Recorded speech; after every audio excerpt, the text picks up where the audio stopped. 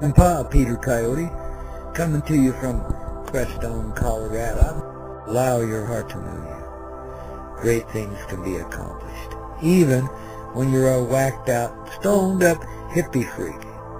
So beautiful. I just started learning how to look into someone's eyes, and it was always a hard thing for me to do, but Thank you, thank you, thank you, thank you, thank you, thank you. I love my life, I love my life, I love my life, I love my life. Screw what society tells you. Sorry.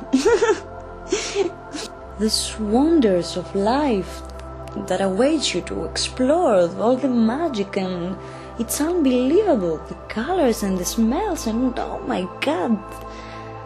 It gets hard to distinguish. And I know it sounds a little crazy, but it's absolutely true.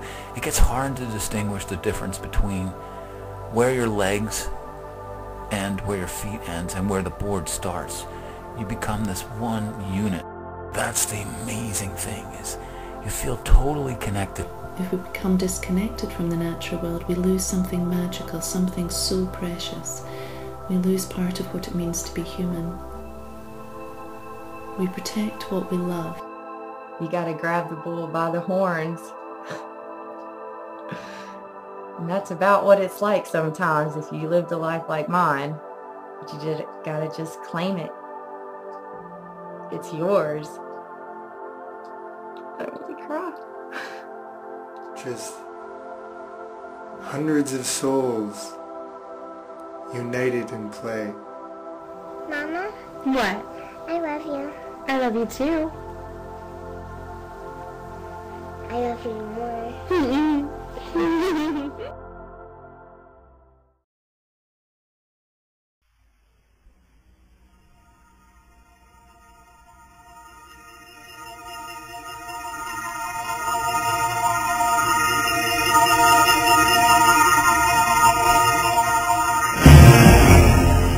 Well, good morning, kids.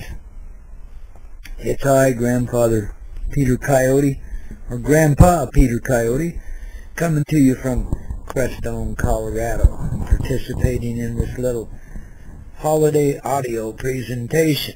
And I've got five questions here I got to answer, or at least somebody would like some answers for. so here we go. Question, what blessings come from mountain life? Well, I've lived in the mountains all of my life pretty much, except for seven years I spent out there in the prairies of Oklahoma. And learned to love that kind of existence too, and met a lot of fine people. And of course I traveled greatly most all my life. But I've most generally always lived near or in the mountains. And that's where I find peace. The higher elevations seem to have the higher energies. Mountains conceal much. They're works of beautiful art put forth by Mother Earth for our pleasure and enjoyment. But they're also rugged and pretty wild, and they can take your life in a heartbeat. So when you're living in the mountains, you're kind of living close to the edge, no matter how comfortable you have it. 20 seconds time, you could be back to survival. Just primal survival. So the mountains will teach you how to survive, especially if you spend a little time in them when you're young. Get out there and explore and find what life is. For the life in the mountains is the least molested forms of living left on this Mother Earth.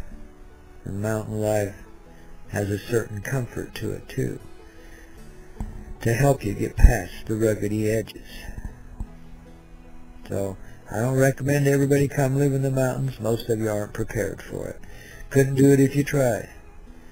But for those of us that were born in them and raised by them, it's a beautiful way of being.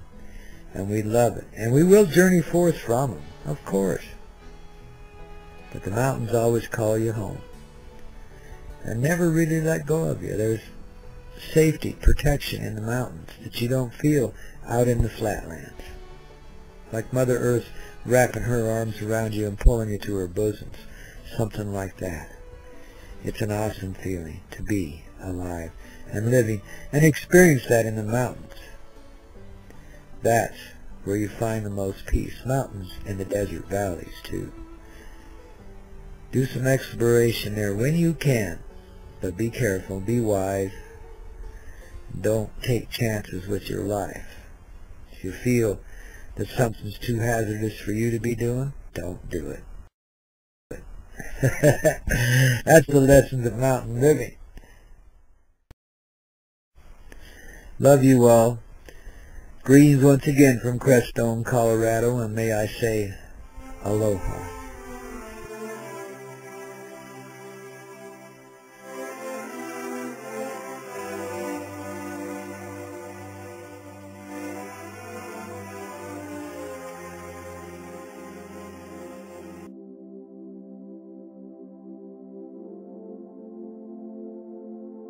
Understand the concept of love.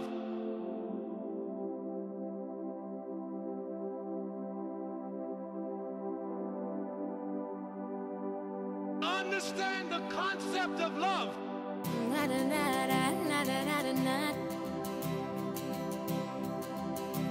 Understand